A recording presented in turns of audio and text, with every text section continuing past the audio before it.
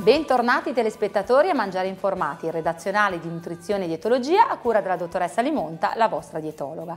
Oggi parliamo di menopausa, quindi un argomento caro a tutte le nostre telespettatrici.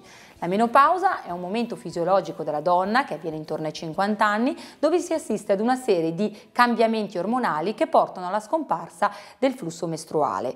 È un periodo caratterizzato, ahimè, da diversi effetti collaterali, tra cui mal di testa, insonnia, disturbi dell'umore, palpitazione, agitazione, ma anche vampate di calore e sudorazione abbondante. Dal punto di vista strettamente dietologico si assiste a un cambiamento del metabolismo basale. Cosa significa? Una donna in menopausa brucia meno calorie rispetto ad una donna in età fertile. Questo fa sì che se non si interviene con una corretta alimentazione, nel primo anno di menopausa si assiste a un aumento del peso di circa 6-7 kg. Altro importante aspetto che avviene a livello metabolico è proprio il cambio della forma del corpo della donna. Anche le donne più magre assistono in menopausa ad un aumento del del giro vita per aumento di quel grasso che si chiama viscerale, che è un grasso, ahimè, brutto dal punto di vista estetico, ma anche molto dannoso per la salute perché è correlato col rischio eh, cardiovascolare e con lo sviluppo di ipertensione e diabete.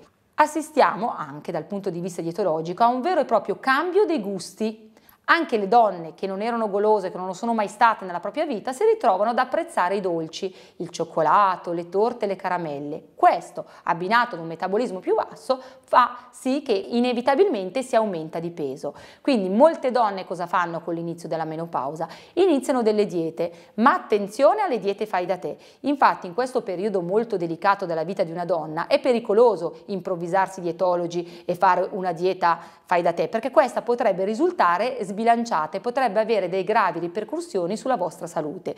Pensiamo infatti all'importanza del calcio.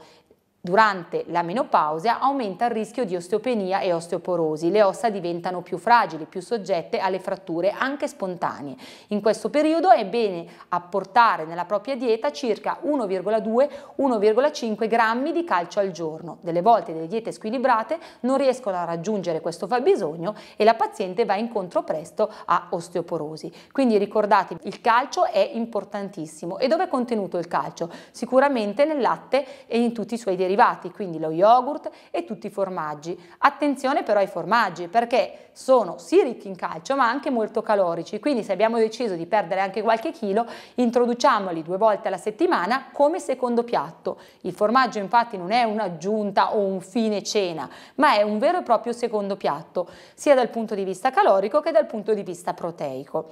Esiste inoltre un'ottima strategia per acquisire calcio con la dieta a zero calorie e il calcio è infatti contenuto in alcune acque. Esistono in commercio delle acque minerali che contengono una buona quantità di calcio, quindi assumendo un litro e mezzo, due litri di queste acque al giorno riusciamo già a coprire metà del nostro fabbisogno.